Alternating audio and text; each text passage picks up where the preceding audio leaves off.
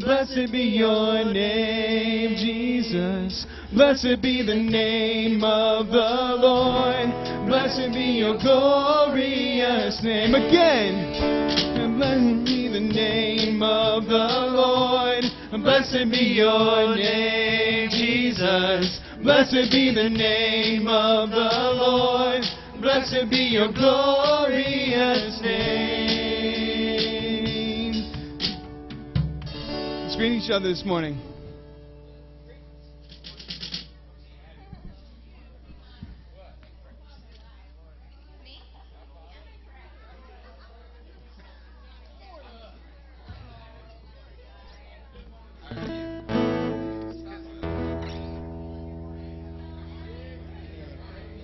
Uh, use that at some point.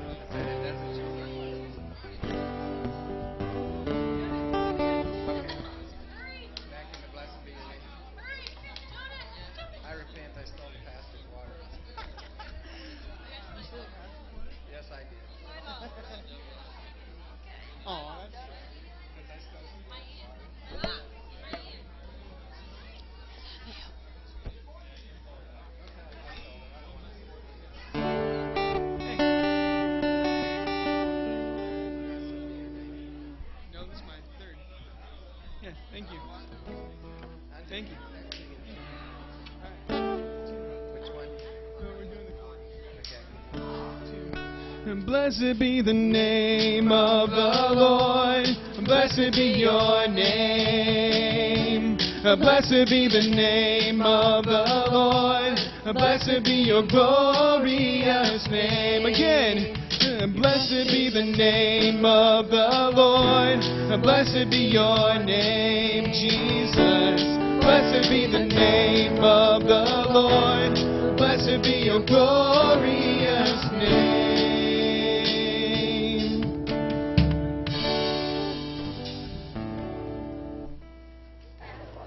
Amen. Praise God.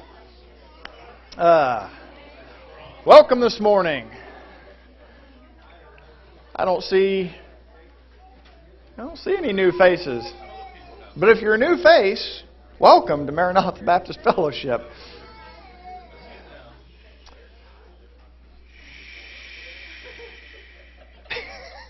It must be a Cowboys game today. All right. Do we have any praises this week? Uh, we went on vacation, and then I had surgery, and then I went on vacation again, so we're finally back. I did. I did rest. I was say you were gone for like three weeks. It's like, Yeah. man, And one less organ. So. and one less organ. Uh, we, we've got a couple up here that so keyboard, not organ, but. Doesn't quite work, though. yeah. All right. My brother and sister-in-law from Houston, they own a cabin in Estes Park, Colorado. Oh. And they happened to be there last week. And, uh, they were notified by the sheriff that they needed to get out of there because the roads are crumbling. Their only access to where the cabin is. And they got out of there just barely. The roads were deteriorating under their vehicle as they were driving off. Wow. And they, they got out of there, and we weren't, we didn't hear from them for quite a while, so we were kinda concerned about it, because we didn't, we didn't know what, the specifics of what was going on with the flooding or anything, but, uh, anyways, they're back, they're back in Texas, they got back there this morning, so. Well, praise God they were safe. Amen. That that that uh, that rain in in Colorado. Uh, I've got some old high school friends that live there, and, and the pictures they posted are just it. Yeah. Uh, my mother-in-law has a coworker that woke up uh, one morning. I think it was Thursday. Uh, she woke up and, and called work and said, "I'm going to wait until it's daylight because of all the rain and the, the you know the chance for flooding that they've been talking about."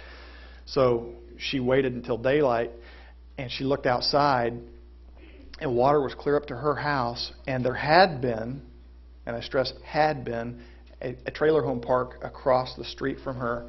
She said it was it was gone. There was not there was nothing there. It was it was already just washed away. Um, so, um, you know, we we have a praise that uh, Jenny's mom was far enough away that uh, th- they were not affected, and she said the water's starting to go down now. So, praise God. Be in prayer for the ones that have lost their homes and loved ones, though, because it, it was devastating. Any other praises this week? A lot of people know what Facebook is. Okay, everybody pretty much knows. We don't. I don't do this week. But anyway, um, face, Facebook can be an awesome page and it can be a damaging page. But it's on how you use it, who your friends are. Yesterday, while I was on Facebook, I play a game on there called JOJ, Journey of Jesus. And then, uh, about six months ago, they had four million hits on it. Uh, that means players, and it's doubled since then.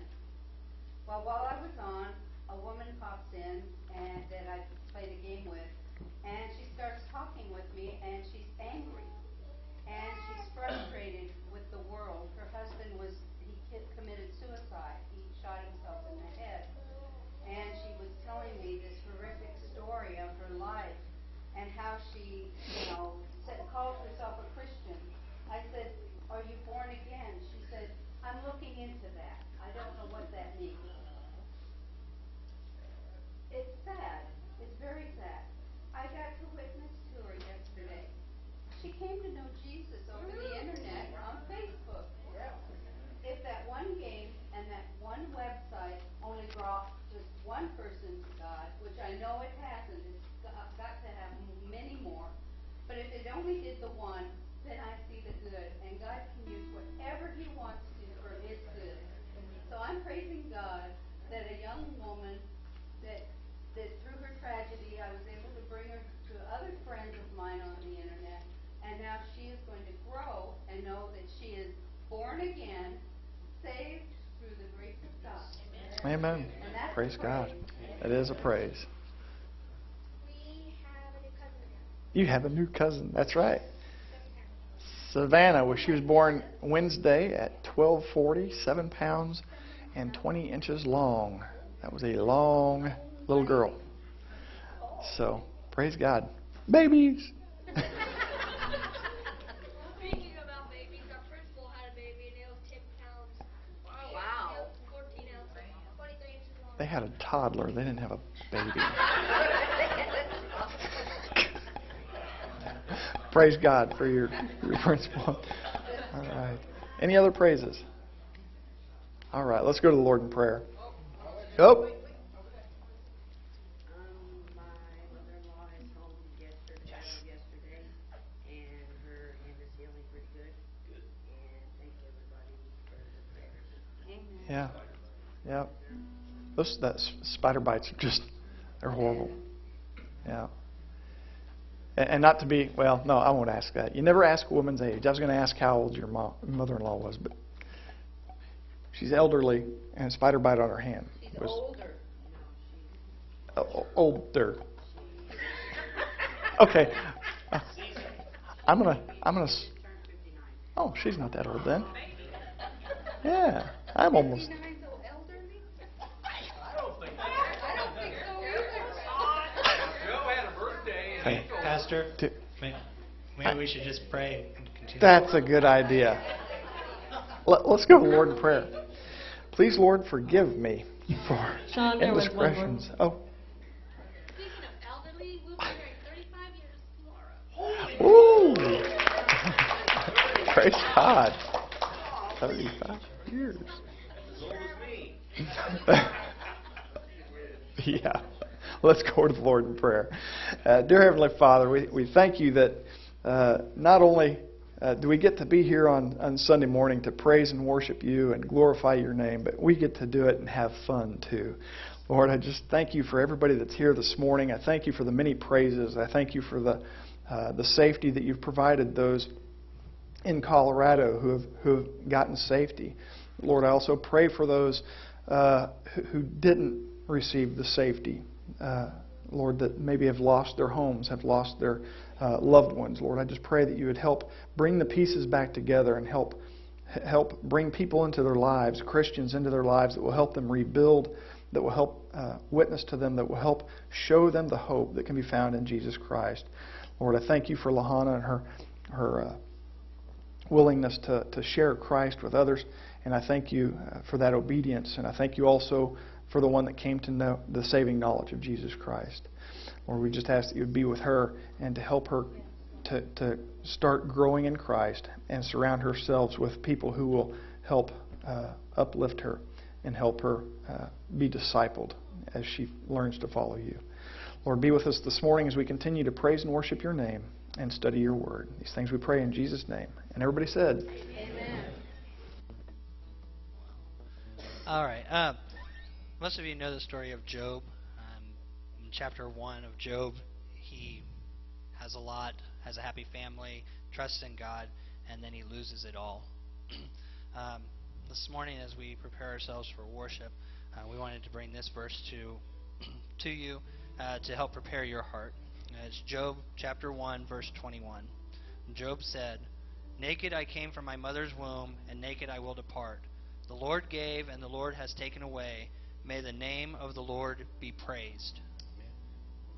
That is so true this morning. Let's actually stand. Um, this church, as you know, as Sean has been talking about the last few weeks, has been under attack. And uh, the Lord really has given and taken away in those times. But the truth is, we all go through battles, we all face different trials uh, of various kinds, as James talks about. But He gives us joy, and He will walk through us with the battle in this song we'll talk about it. It's an oldie but a goodie. So. In heaven the armor will enter the land. The battle belongs to the Lord. No weapon that's fashioned against us will stand. The battle belongs to the Lord. And we sing glory.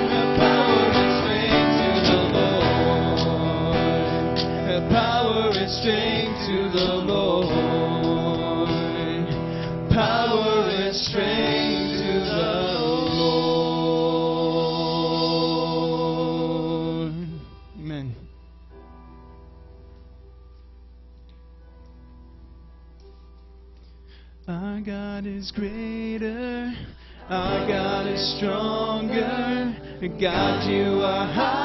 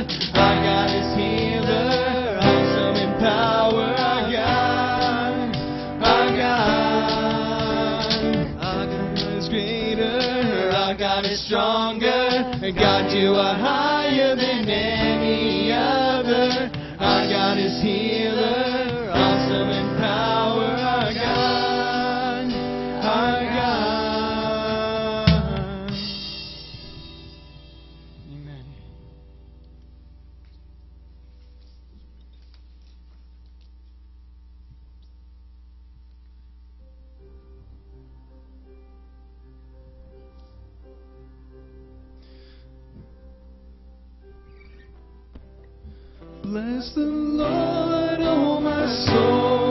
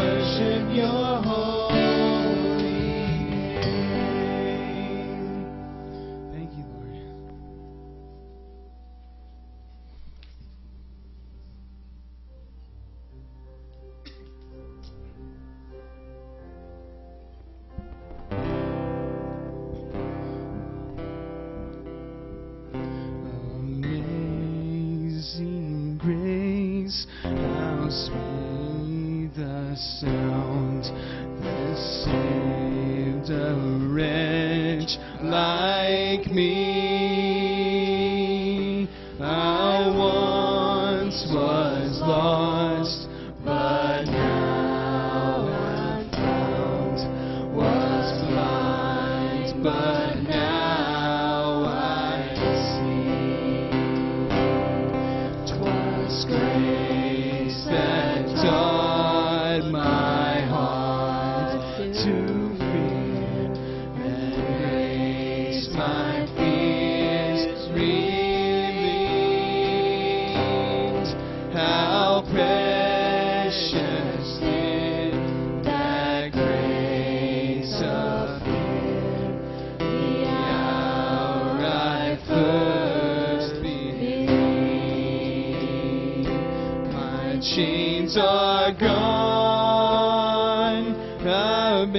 set free. My God, my Savior has ransomed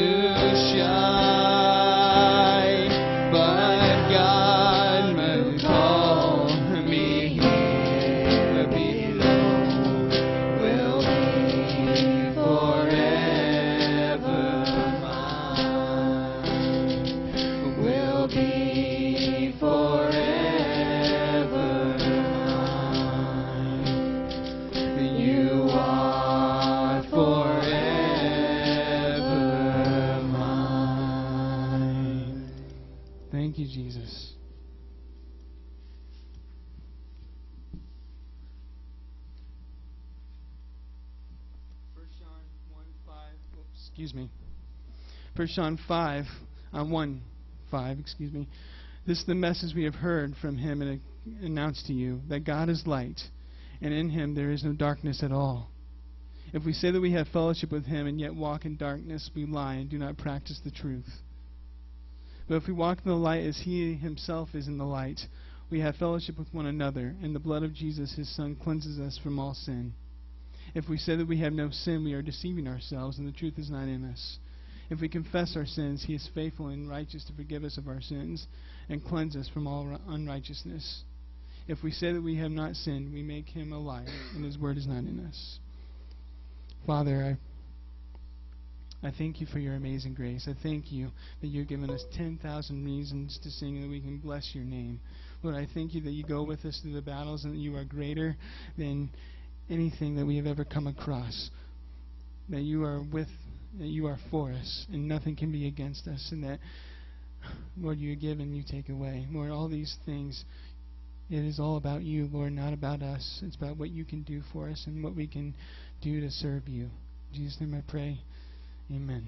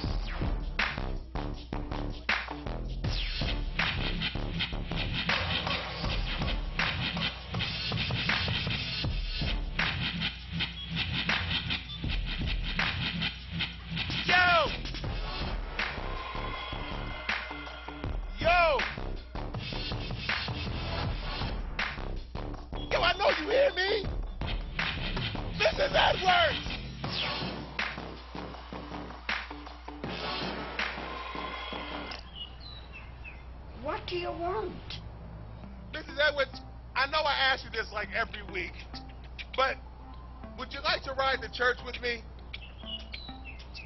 Oh, come on, Mrs. Edwards, you like my church.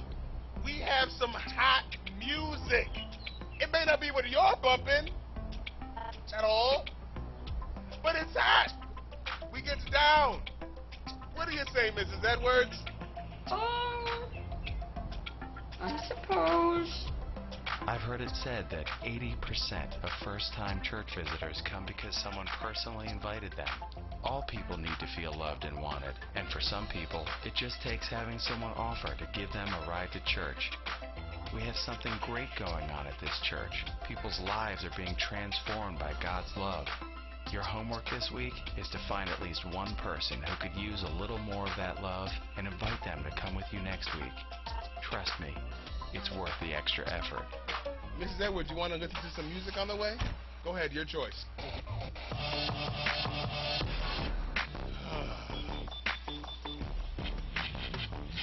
okay, here we are.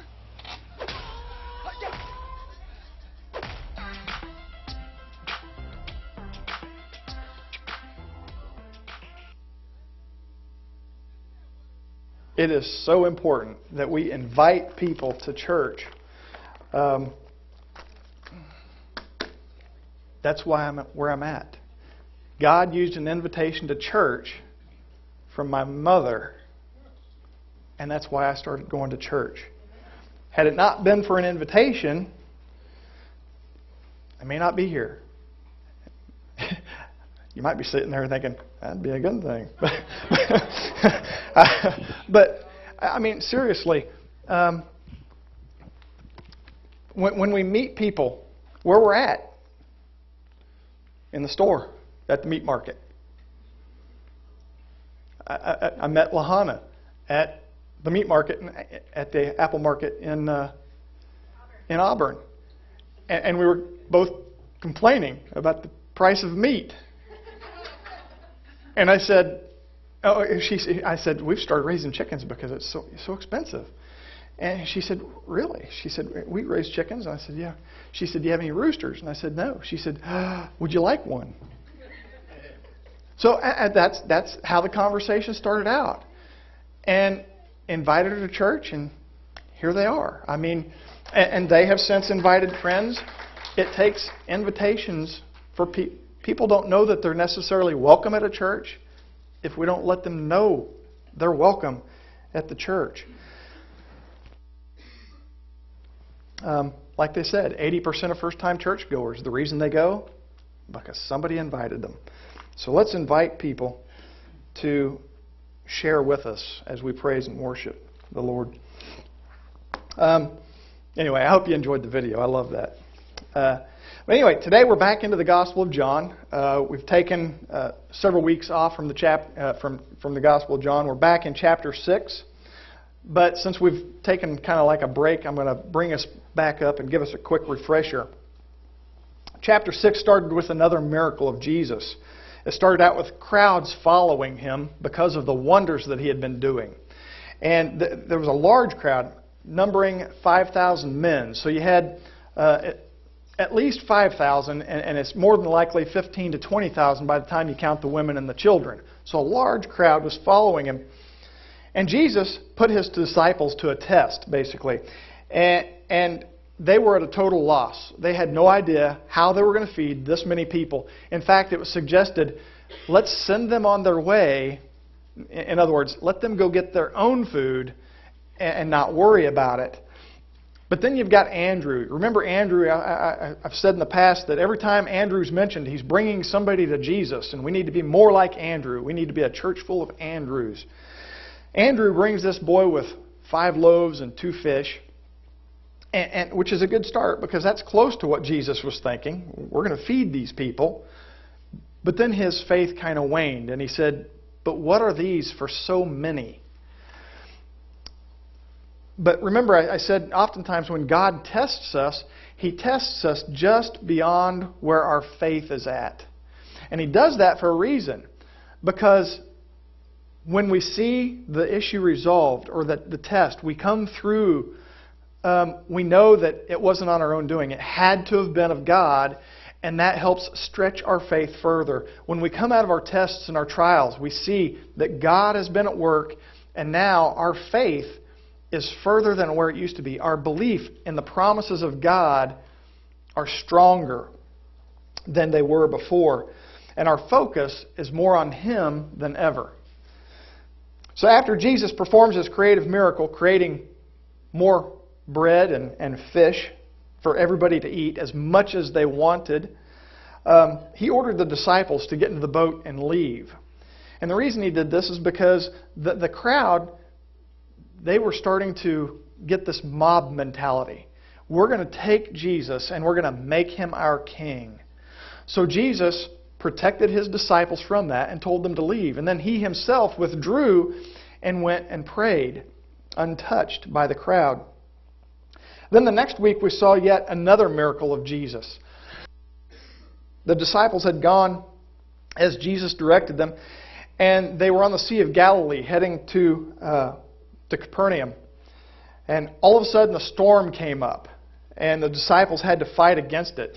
And they fought the storm for a minimum of six hours because it said it was evening, but it was dark, so you're guessing about 9 p.m.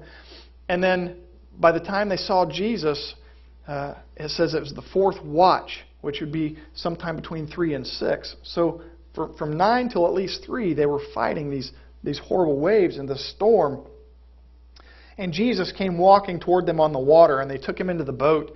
And instantly, the storm was calmed, and they were at their destination. So actually, Jesus did like three miracles all in one. One, he walked on water. That's just not possible unless you're God. When he stepped into the boat, the storm was calmed. So the, the, the storms obey Jesus Christ because the storms have to obey the Word of God. And lastly, their boat was immediately at their destination. And I think that's something when we just blaze blaze through this passage oftentimes gets overlooked. They could have been several miles from their destination, yet instantly they were there.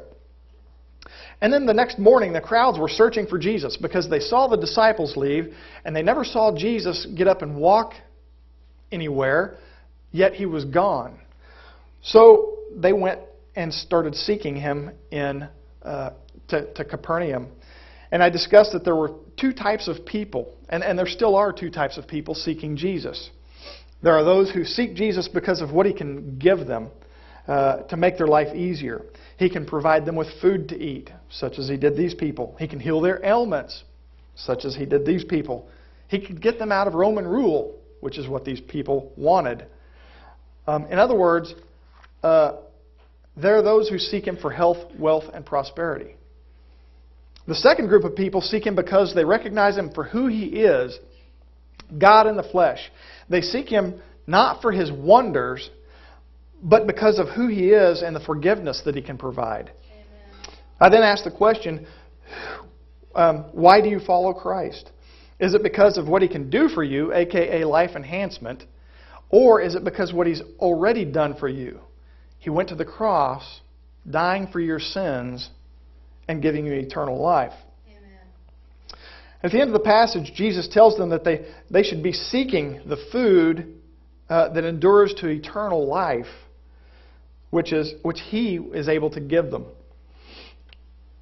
Jesus tells them that the work that endures to eternal life is to believe in Him whom God has sent. In other words, believe in Jesus Himself. As we continued on from there today, we're going to be taking a look at verses 30 through 50 of John chapter 6. And we're going to see three phases to this passage. We're going to see real manna, we're going to see real mis- misunderstanding, and we're going to see real murmuring. So if you, if you haven't already, turn in your Bibles with me uh, to John chapter 6 as I read verses 30 through 50. John 6:30 says, "So they said to him, then what sign do you do that we may see and believe you? What work do you perform? Our fathers ate manna in the wilderness, as it is written, he gave them bread from heaven to eat." Jesus then said to them, "Truly, truly, there's that truly, truly again. Truly, truly, I say to you, it was not Moses who gave you the bread from heaven, but my Father gives you the true bread from heaven. For the bread of God is he who comes down from heaven and gives life to the world. They said to him, Sir, give us this bread always. Jesus said to them, I am the bread of life. Whoever comes to me shall not hunger, and whoever believes in me shall never thirst. But I said to you that you have seen me, and yet you do not believe. All that, all that the Father gives me will come to me, and whoever comes to me I will never cast out. For I have come down from heaven not to do my own will, but the will of him who sent me. And this is the will of him who sent me, that I should lose nothing of all that he has given me, but raise it up on the last day. For this is the will of the Father, that everyone who looks on the Son and believes in him should have eternal life, and I will raise him up on the last day. So the Jews grumbled about him, because he said, I am the bread of life that came down from heaven. They said, Is this not Jesus, the son of Joseph, whose father and mother we know? How does he now say, I have come down from heaven? Jesus answered them, Do not grumble among yourselves. No one can come to me unless the Father who sent me draws him, and I will raise him up on the last day. It is written in the prophets, and they will all be taught by God. Everyone who, who has heard and learned from the Father comes to me. Not that anyone has seen the Father except he who comes from God. He has seen the Father. Truly, truly, I say to you, whoever believes has eternal life. I am the bread of life. Your fathers ate the manna in the wilderness, and they died. This is the bread that comes down from heaven, so that one may eat of it and not die. So, as we, as we break this passage open, I'm going to go back two verses. I'm going to go ahead and reread verses 28 and 29 from the previous time we were here. It says, Then they said to him, what, what, what must we do to be doing the works of God? And Jesus answered them, This is the work of God, that you believe in him whom he has sent. These people want to know what they need to be doing to be doing the works of, of God. And, and he basically tells them, Believe on me. And, and, and then how do they respond? That's where we pick up today. They say, then what sign do you do that we may see and believe you? What work do you perform? Our fathers ate manna in the wilderness, as it is written. He gave them bread from heaven to eat. Okay?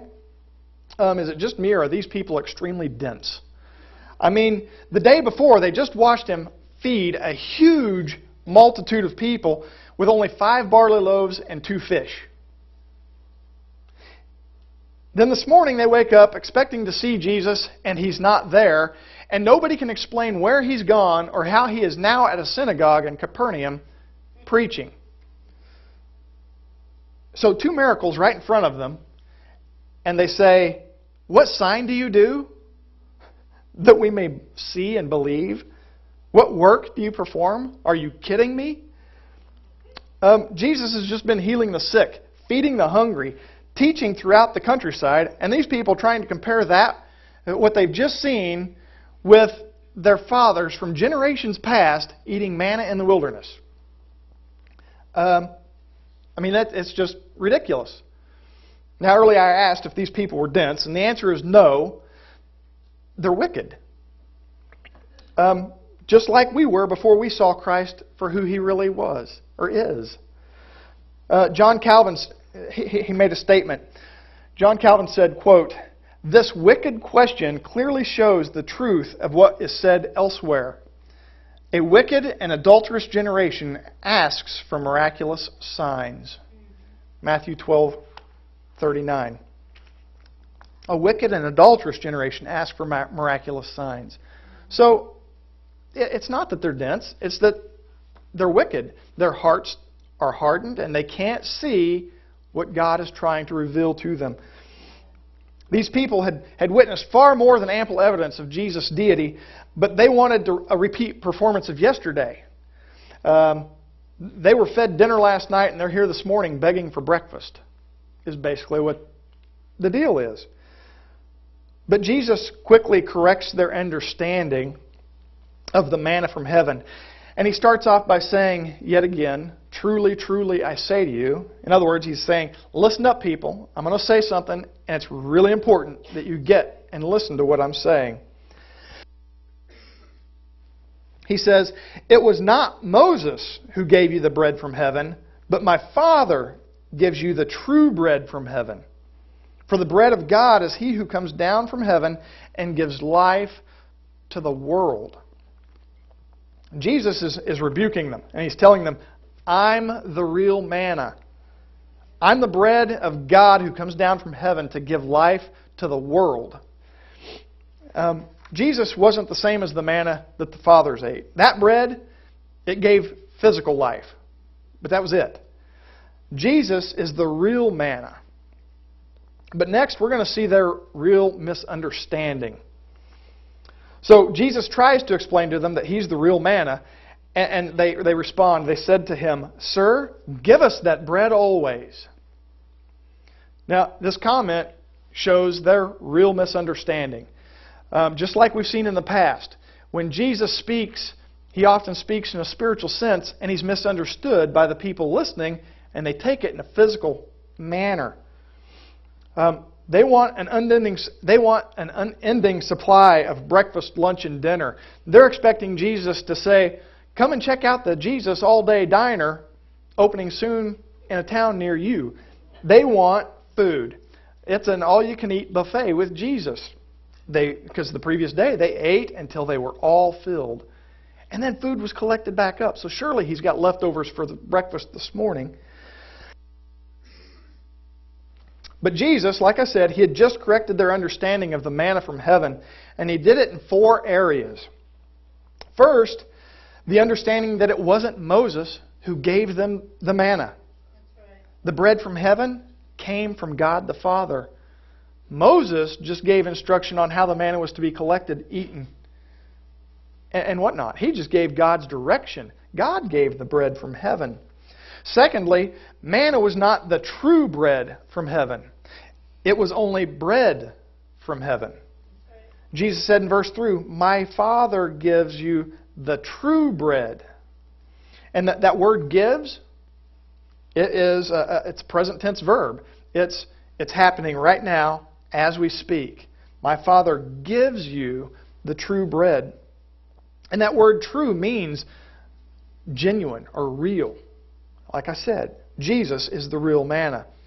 Thirdly, the manna that gave, phys- it gave physical life, like I said before, but the bread of God, which comes down from heaven, gives spiritual life.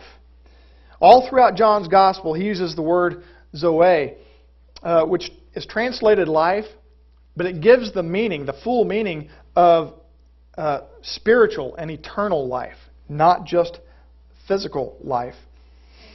And finally, unlike the manna which was given only to Israel in the desert when they were in their wanderings, the true bread is for the whole world. So Jesus continues to try and clarify their, their real misunderstanding by explaining further. He says, I am the bread of life. Who comes, uh, whoever comes to me shall not hunger. Whoever believes in me shall never thirst. But I said to you that you have seen me, and yet do not believe. All that the Father gives me will come to me, and whoever comes to me I will never cast out. For I have come down from heaven not to do my own will, but the will of him who sent me. And this is the will of him who sent me, that I should lose nothing of all that he has given me, but raise it up on the last day. For this is the will of my Father, that everyone who looks on the Son and believes in him should have eternal life. And I will raise him up on the last day. This, this passage, this section of Scripture, it starts out with the words, I am. And everyone present would have recognized that as the name of God. Uh, when Moses asked God uh, at the, the, burning bush, and, and God is, tells him, You need to go to Egypt and you need to, to get the people released. And he's like, Well, when they ask, Who should I tell them is sending me? Exodus 3:14 says, I am who I am. And then he tells Moses, Tell them, I am has sent me to you. So here he Jesus says, I am the bread of life. And he there's there's like 21 or 23 places in, in, in this gospel where it doesn't necessarily say it in that order, I am, but in the Greek it's ego eimi. And he uses that several times, and that's a definite I am statement. But he makes seven I ams in the Gospel of John. I am the bread of life. Or, yeah, I, I am the bread of life. I'm the light of the world. I am, I am. And he's got seven huge statements that people cannot misunderstand in, this, in, in the day it was being heard that he is claiming to be God. I am the bread of life. Whoever comes to me shall never hunger, and whoever believes in me shall never thirst. And since Jesus is speaking spiritually here uh, uh, about being bread, he's also speaking of the soul and not the body. Uh, when he declared that those who come to him would never hunger or thirst. And verse 35 gives two simple verbs to explain our part, man's part in salvation process. Come and believe. Those are the, that's man's part. We're to come and believe. To come to Christ is forsake our sinful nature, to, to forsake our old life of sin and rebellion and submit to Him as our Lord. And, and John never uses the word repent or repentance in his gospel, but the word come is the same meaning or same idea as repentance. You're to forsake your sin and you're to turn to Jesus. That's what repentance is. It's turning from sin and turning to God. So that's, that's what it means to come. Now, to believe in Christ is to trust completely in Him as the Messiah and Son of God through faith in Him alone. So repentance and faith have two sides, uh, they're basically two sides of the same coin. To repent is to turn from the sin, and to believe is to turn to the Savior. That it's inseparable. And that is the man's part in the salvation process. We can do nothing. God has done it all by paying the price for our sin on the cross. In verse 36, Jesus rebukes them again for not believing. Um, this isn't the first time that we've seen this. He's rebuked them for not believing in the past. He did it in John chapter 5, verse 38. He said, You do not have his word abiding in you for you do not believe the one whom he has sent. Ouch. And now he's telling them, I said to you that you have seen me, and yet you do not believe. He's rebuking them for their disbelief. So even though the crowd isn't getting it, they don't understand, they have huge misunderstandings about who Jesus is, Jesus was still confident in his success of the Father's will. Jesus wasn't scared that he was going to fail in his mission. He had complete confidence that he would succeed in the mission God had sent him to accomplish. Because Jesus continues and tells them, All that the Father gives me will come to me. And whoever comes to me, I will never cast out. For I have come down from heaven, not to do my own will, but to do the will of him who sent me. And this is the will of him who sent me, that I should not lose anything of all that he has given me, but raise it up on the last day. For this is the will of my Father, that everyone who looks on the Son and believes in him should have eternal life, and I will raise him up on the last day. Jesus knows that all that come to come and believe, the Father has given him. Um, they're, they're basically a love gift from the Father to the Son. And, and Jesus says that He will never cast them out. And that word "never" it, in the Greek, it's a, a, I guess double negatives in the Greek are a good thing. It's emphasis. Only in English are double negatives bad.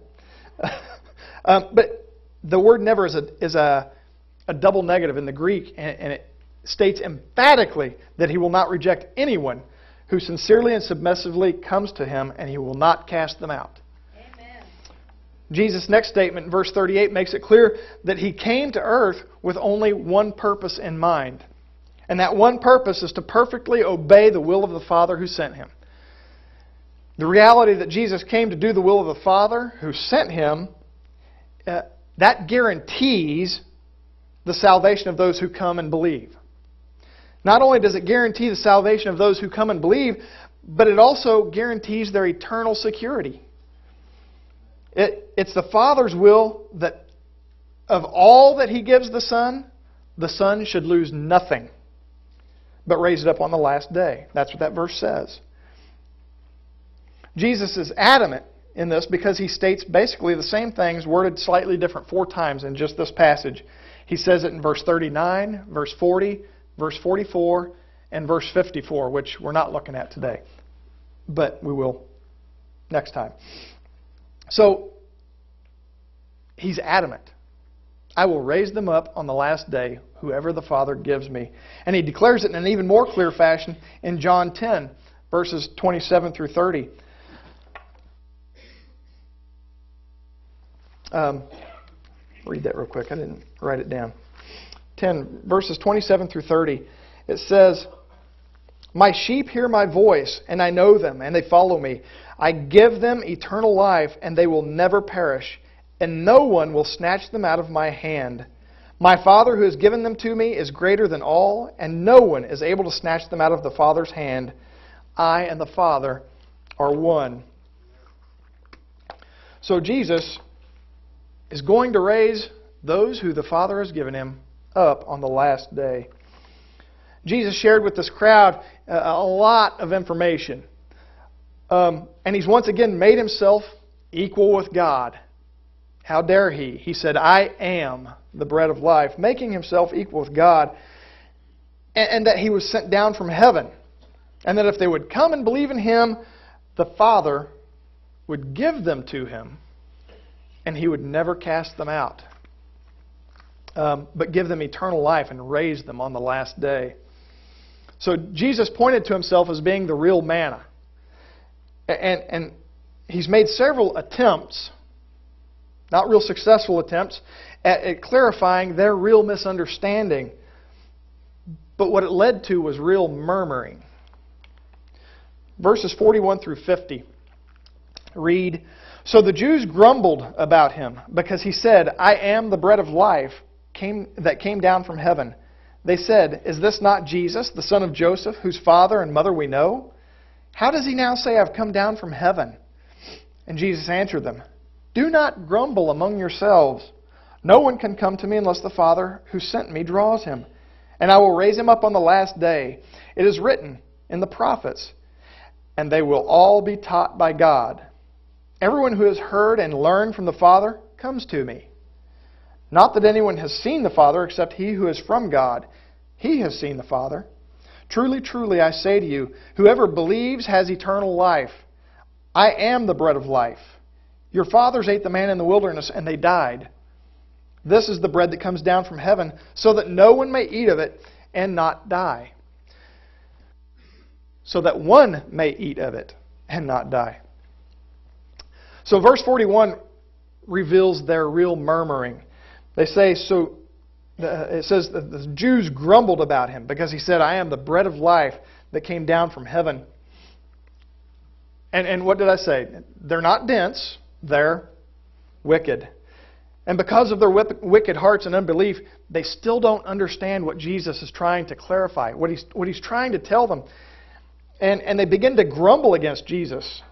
Uh, just like their ancestors grumbled against God when they were wandering in the desert eating manna. Wow, what a parallel. These same people are grumbling against God again. They were upset too, by two things that Jesus said. First, because he claimed to be the source of eternal life. Only God can do that. How dare he say he's the source of eternal life? And secondly, that he said that he came down from heaven. Isn't this just the son of Joseph, whose mother and father we know?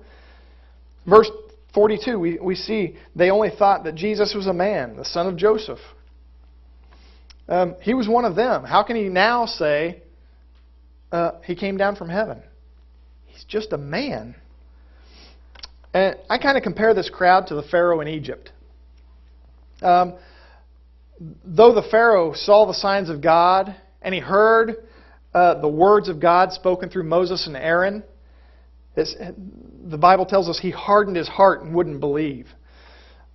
This crowd has seen the wonders of God that Jesus has been performing. And they've heard him explain numerous times in many different ways, but they've hardened their hearts against their Messiah, who claimed equality with God and required repentance and faith as a requirement for entering heaven. Um, Jesus didn't answer their murmurings and grumblings. Uh, rather, he, he commanded them to stop grumbling. In verse 43, he, he had already shared with them enough that if their hearts weren't hardened, they would have seen him for who he really was. So there was no need to elaborate further. So he basically told them, don't grumble among yourselves. And in verse 44 through 46, Jesus speaks some very intense words about the Father. He says, No one can come to me unless the Father who sent me draws him. And I will raise him up on the last day. It is written in the prophets, and they will all be taught by God. Everyone who has heard and learned from the Father comes to me. Not that anyone has seen the Father except he who is from God. He has seen the Father. So he tells them that no one can come to him unless the Father draws them. The Father has to draw them to Christ. If God did not irresistibly draw sinners to Christ, um, then no one would ever come to him. But thankfully, God does draw sinners to Christ. In Acts 17, verses 30 through 31, it reads, The times of ignorance God overlooked, but now he commands all people everywhere to repent because he has fixed a day in which he will judge the world in righteousness by a man whom he has appointed, and of this he has given assurance to all by raising him from the dead. Amen. So God calls sinners is his, his call to sinners is his command that all people everywhere should repent.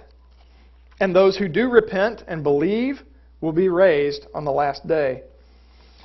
And Jesus says, and they will be taught by God. And this is, this is kind of a paraphrase of Isaiah 54:13. Isaiah 54:13 reads, "All your children shall be taught by the Lord, and great shall be the peace of your children." So he goes on to tell them, uh, everyone who has heard and learned from the Father comes to me.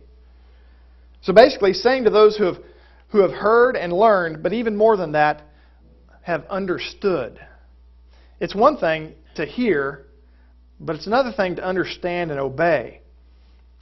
How many of you, as teenagers, heard the words of your parents, but that's about as far as it went? It's, it's, it's hearing, it's learning, it's understanding, it's obeying. Um, those who understand come to me.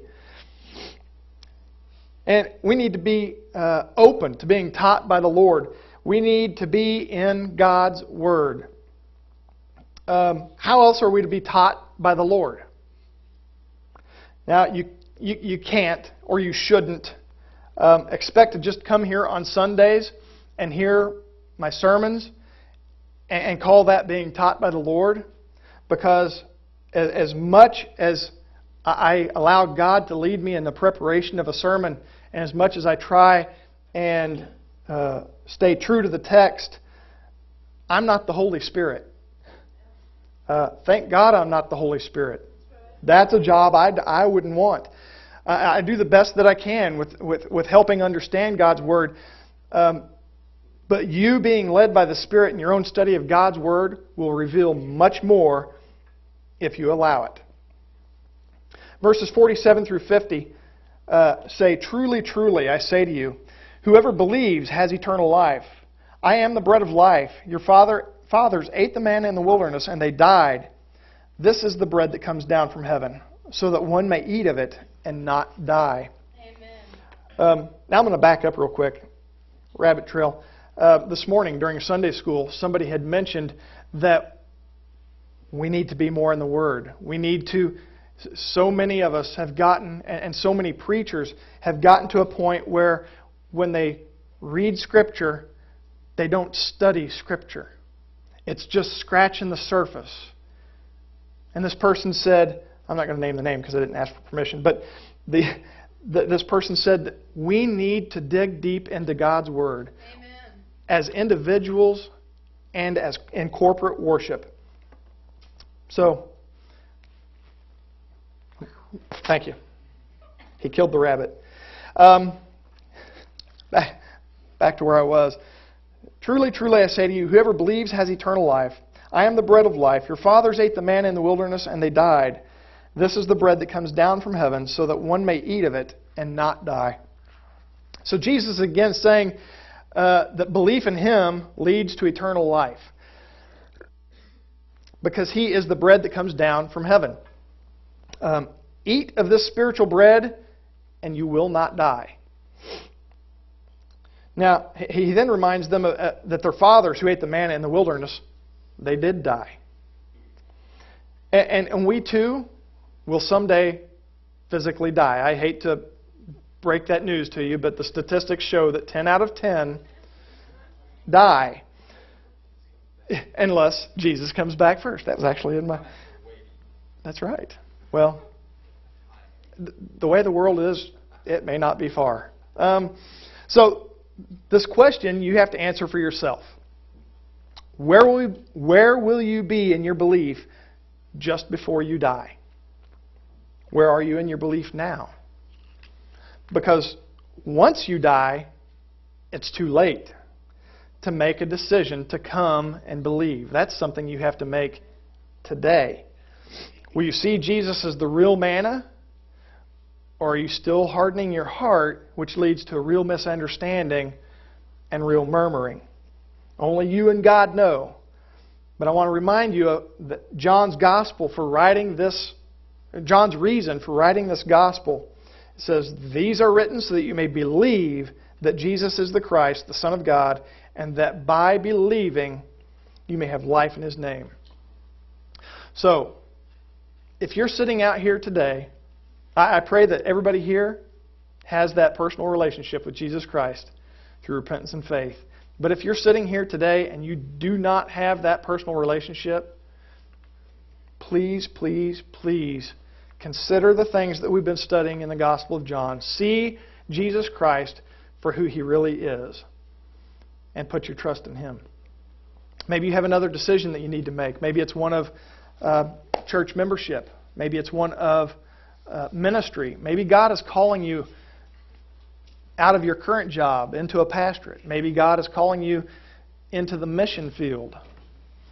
Only you and God know what God is calling you to. to. Be obedient. Be grateful to the God who's given you life and answer that call. So, whatever your decision, if you need to come up here uh, and speak to God one on one, there's a place on either side come up and pray. And listen for the Lord to answer. Would you join me in prayer, please? Dear Heavenly Father, we thank you so much for Jesus' explanation that helps us understand who He truly is. Jesus Christ is the I am of the Old Testament. Jesus Christ is the God that rescued the Israelites from Egypt. Jesus Christ is the I am who created this universe that we live in. And Jesus Christ is the one who died for our sins.